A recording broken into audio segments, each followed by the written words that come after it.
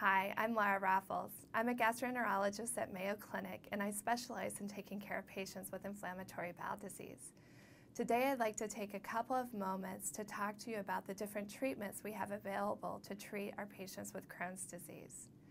We choose our treatments for our patients based on the pattern of their disease and location of their disease within the gastrointestinal tract. We also like to consider complications the patients may experience from their disease and what medications they may have previously already tried. We often approach our patients using what we call a pyramid approach, meaning at the bottom of the pyramid we choose medications that are generally quite safe to take. And then as the disease becomes more moderate or severe in nature, or as a patient fails therapies, we move up this pyramid and use different therapies that may be a bit more aggressive in getting the inflammation under control. At the bottom of this pyramid are the mesalamine type drugs.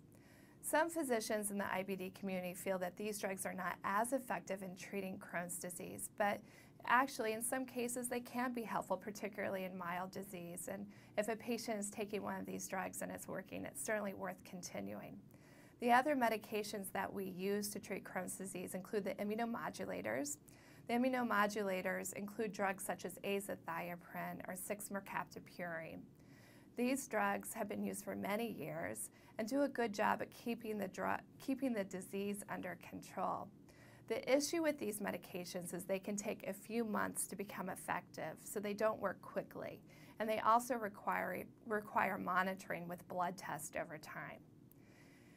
As we move up the pyramid, the next class of drugs include the anti-TNF alpha drugs. And these are drugs such as infliximab or adalimumab or certolizumab.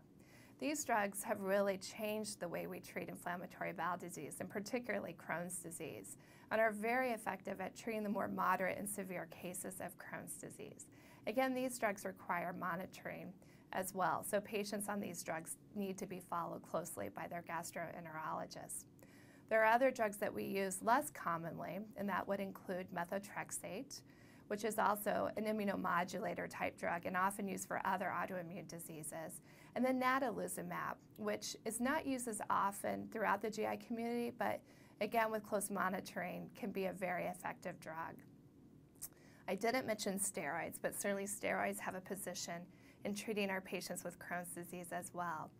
Steroids should be considered a short-term treatment for Crohn's disease because used in the long term, they can cause a lot of different side effects. So usually we try to use steroids to bridge to another treatment. And then finally, I have to include surgery as a treatment because in the right patient, under the right circumstances, surgery can actually really improve a patient's quality of life. And any patient with Crohn's disease who does require surgery should really seek out the care from an experienced colorectal surgeon, such as the surgeons that we have here at Mayo Clinic. And then finally, in patients who are not good candidates for surgery and who have failed all med conventional medical therapies, we can consider clinical trials. And there are a lot of great clinical trials out there that do give a great opportunity to patients to try a drug that may be exciting and up and coming in the field of inflammatory bowel disease. Thank you for your time and hopefully you learned a little something from this talk.